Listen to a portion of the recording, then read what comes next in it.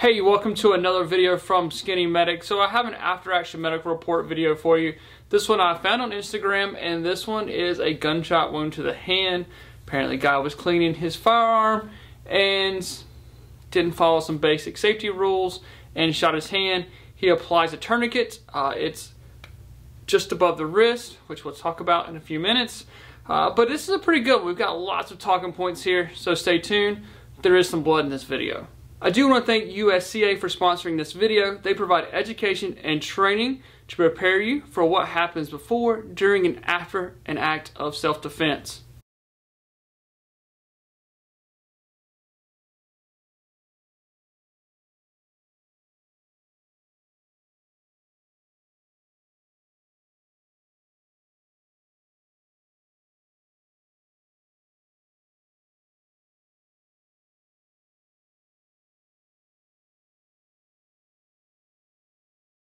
So, what do you guys think? Tourniquet, no tourniquet? Comment below. Let me know if you think you would apply a tourniquet here or you would have just wound packed it or put a My Little Pony band-aid on there. Let me know down below. So, a couple things. I think we have to state the obvious about gun safety here. Uh, making sure the firearm's unloaded, double checking it, uh, never pointing the barrel, anything you don't want to kill, keep your finger off the trigger lots of talking points here. Um, there's plenty of gun experts that are talking about that. You can go follow their YouTube channels. Uh, but anyway, gun safety, be remiss if I didn't mention it. So I know a lot of you guys are going to jump on the tourniquet bandwagon about it not being high and tight, okay?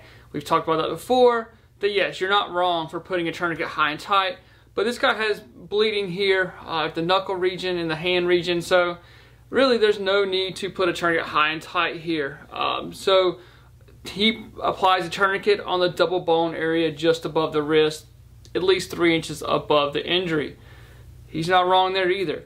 Uh, the data does support that you can put a tourniquet on a double bone. Actually, there's less muscle mass. They say, uh, the experts, people that are smarter than me, say it works better uh, for putting a tourniquet down lower because you have larger muscle mass up here uh, to collapse. Uh, more people have muscle mass. I feel like that's just flex right there.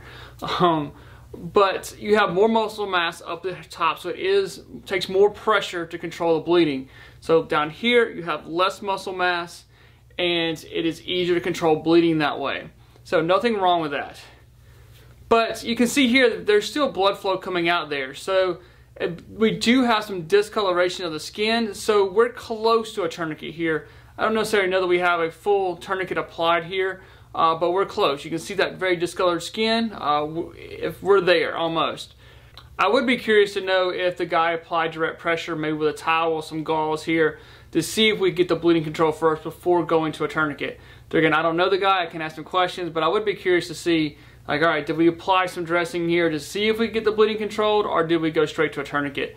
Uh, it kind of helps me do the process. So what we normally say is apply good solid direct pressure to the wound and if you can't get the bleeding control, then you apply a tourniquet here. So gunshot wound to the hand, I'm gonna apply good solid pressure here to attempt to get the bleeding control. If I can't get it controlled, then I would go to a tourniquet.